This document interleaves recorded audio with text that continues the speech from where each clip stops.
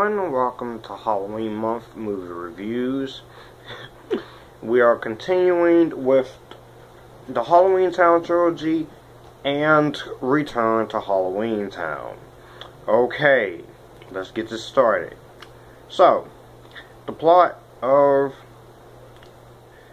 the we're gonna start with the original trilogy. Then we're gonna start with the uh, then we'll do the unnecessary fourth installment.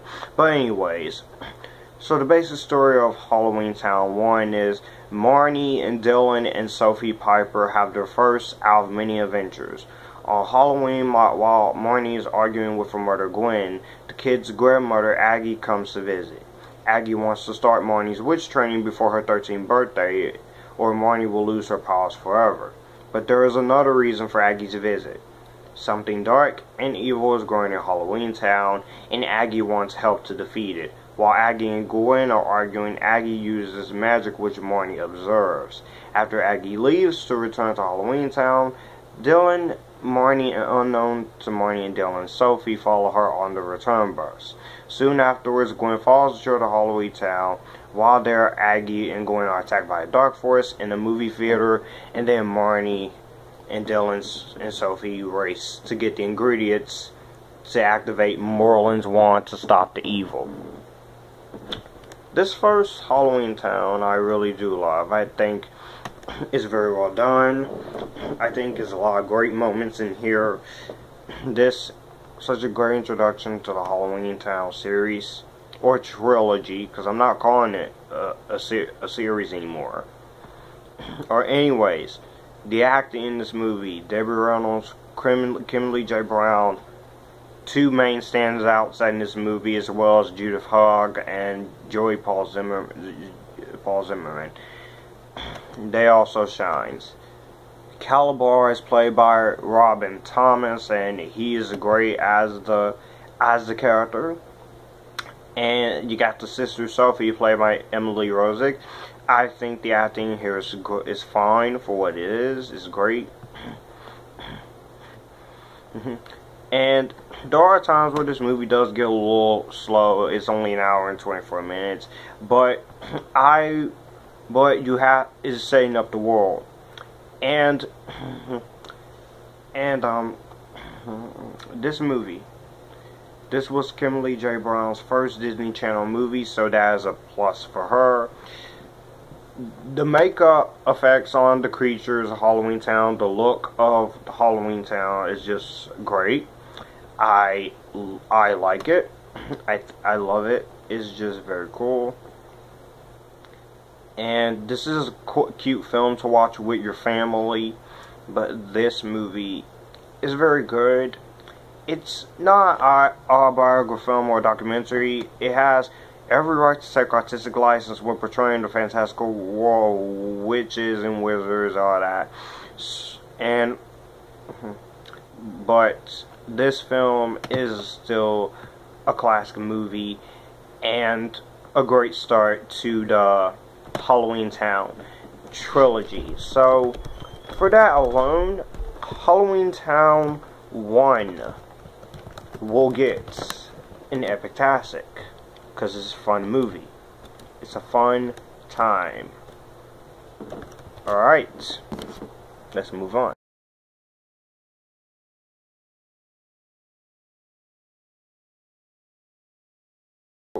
Halloween Town 2 Kalabar's Revenge is the second movie in the Halloween Town trilogy, and this is directed by Mary Lambert, and the plot of this one is the Cromwell's clan lives in the real world, except for their grandmother, who lives in Halloween Town, which is a place where monsters go to escape reality, but the son of the Cromwell's older enemy, Kalabar, has planned to use the grandmother's book to turn the Cromwell's old I mean, to turn Halloween Town into a gray, dreary version of the real world while transforming the denizens of the real world into monsters. So only Marnie and um, Aggie can stop there. I like this more than the first one. I still like the first one, but um, that movie is a little. The movie did get a little boring. That's because it was setting up the the world, which is what a movie trilogy or a series should do. Set up your characters, set up your world. But this movie is is really good. I like it. I like it a lot. I like the chemistry between Kimberly J. Brown and Debbie Reynolds in this movie. They still are great as usual. You also got J. J. Paul Zimmerman and Emily Roeske, as well as Judith Hoag back and other cast members. There's a lot of cast members. I'm not going to read off the entire list. But all the acting in this movie is great.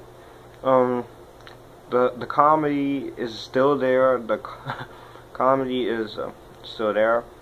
This film had a much darker tone than the rest of the series, and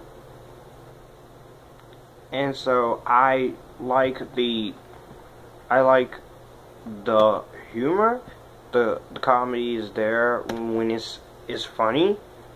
It actually knows what it's doing. Cinematography looks nice. Makeup and production design is fantastic. I do have one problem, and that is that it is a it is sort of familiar to the first film, but in this movie's case, just like Star Wars, I have no problem with it. But Again, the main standout here is Kimberly J. Brown. I do love the the music in the movie, and the makeup is and the effects on the creatures are still great and well done. So I will give this movie um I'm not taking too long on this these reviews because I'm going because I'm just gonna make this into a trilogy review edit all three of these parts and put them together so yeah that's how it's gonna be but anyways, I will give Hall Halloween Town 2 an epic tastic as well. I'll see you guys in Halloween Town High.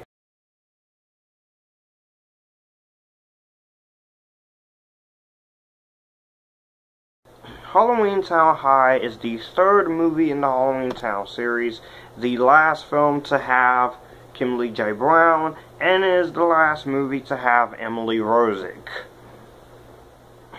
So the plot of Halloween Town High is Marnie and her friends from Halloween Town are back in this film.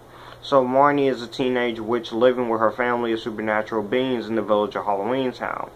Marnie and her pals are interested in attending high school in the nearby Mortal community, where they'll be able to spend more time with kids their age, and with the help of the grandmother Aggie, she's able to convince the town council to go along with the suggestion. But there is a catch. If anything dangerous happens as a result of their presence in the Mortal school, Marnie and her friends will lose their magical talents. So trouble does make its way to the school, but not in a way anyone expected. The Knight of the Iron Dagger comes to the mortal world, determined to wipe out Marnie and her magical companions, and so Marnie and her and her friends must stop it. This one is my favorite of the trilogy. This one is my favorite. It it's really fun. I have a lot of fun with this one. This is pretty lighthearted, and I like that when it's lighthearted. Now, the actors in this movie, like I said, Kimberly J. Brown, this is her final appearance in the Halloween Town films. You get Debbie Reynolds in this movie, Judith Hoag, J. Paul Zimmerman, and Emily Roeske in her final appearance in a Halloween Town film as well.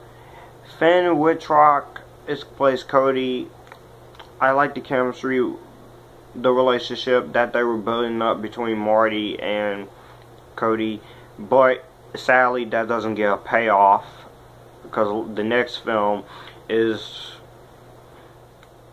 I'm just uh, we'll get to it. But you got then you got two high school musical actors in here. You got Olivia Rowland, who plays Natalie the Pink Troll. She played Kelsi in the High School Musical trilogy. And you got Lucas Grabeel, who plays Ethan the Warlock. So, it was cool seeing those two in here. And I know there are some people who hate High School Musical, but there are people like me who loves High School Musical. I will continue to love High School Musical, even though we have a fourth one, which I'm not that happy about, but I'll give it a chance because, like I said, I'm a fan of High School Musical. But anyway, you got the cast is great. I love all the ca the cast is amazing. The editing is great. I love the makeup effects. The production design is great. Sound effects are great. The special effects are fan fantastic. The music is also really good too. Especially song plays at the end. I like that. And this was a great send off. This is where Halloween Town should have ended. But no. We had we got another one of these movies and unfortunately for that movie it is like a freaking hang on, hang on, hang on. You also got Todd Michael Schwartzman who is also in the High School Musical series. And so after this movie was the second film received criticism for being too dark, this one was more family friendly, and I liked that. but yeah, this is where Halloween Town should have ended. I know there's fans of Halloween Town 4. I don't agree. I still don't agree. Get it? But this film is alright. This no, this film is more. This is awesome and this movie is going to get my JD Rainbow Silver approval. So, I will catch you guys in Return to Halloween Town, and that's going to be a rant. So, look, be on the lookout for that. Let me know what you think of this trilogy down below. Do you like it? Do you love it? Do you hate it? Have you seen it? What's your favorite? What's your least favorite? Please let it be Return to Halloween Town. But anyways, I'll see you guys.